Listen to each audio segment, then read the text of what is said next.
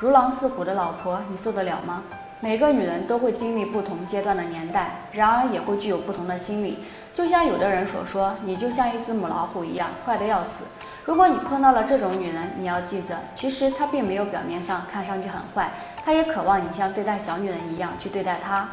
她也会缺少安全感。他也需要你去呵护，多抽出一些时间去关心他、疼他，他就没有这么坏了。也许是因为上了年纪，更年期提前到来，从而使他的心情每天都很复杂，内心做什么事情都很纠结，从而使他一遇到一些小事就会爆发他的脾气，让你感觉到厌烦，从而疏远他。男人一定要记住，不管以后你的女人以后变成什么样子，她都是最爱你的女人。在你以前贫穷的时候，是她一直默默无闻的陪伴着你，对你无微不至的照顾，不嫌弃你，始终对你一心一意。他在认识你之前，在娘家也是父母手心里的宝，视为掌上明珠。但认识你以后，和你在一起，每天像保姆一样伺候你的衣食住行。不仅要照顾你，还要照顾你的父母，做什么事情都要小心翼翼，就怕一不留心就做错了事情，惹怒了你的父母，怕他们不高兴，总是会做事情都会考虑到你。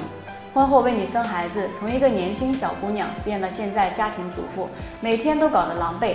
你要明白，这些都是因为你，不是你老婆舍不得打扮，而是她心里知道自己的老公每天在外面那么辛苦的工作。我不能因为自己的想要就去浪费钱，出去逛街看见好看的衣服、鞋子都会想买给你，给孩子买，从没想过自己有没有东西要买。夫妻之间的生活一定要学会沟通，只有相互理解、互相沟通，才能够使两个人的心走到一起，家庭才会和睦、幸福美满。如果两个人都遇到问题，不及时去沟通，这样只会让误会产生的越来越多，婚姻也会从刚开始的甜蜜到痛苦。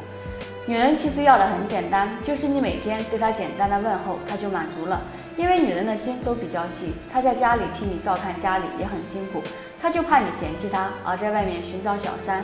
这是她最不想看到的一面。所以，请珍惜这类女人，除了你的父母，你的老婆对你才是真心真意的，不要辜负了她对你的爱。